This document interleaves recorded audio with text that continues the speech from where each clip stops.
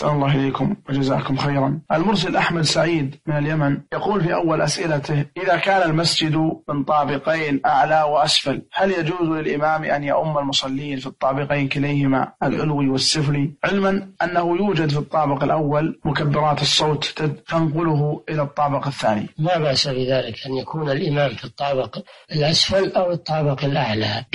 لكن إذا كان في الطابق الأعلى فلا يكون وحده. لا بد أن يكون معه بعض المأمومين. نعم. المصلي إذا كان مصلي في الإمام. الإمام إذا كان في الطابق الأعلى فلا يكون وحده بل يكون معه بعض المأمومين. نعم.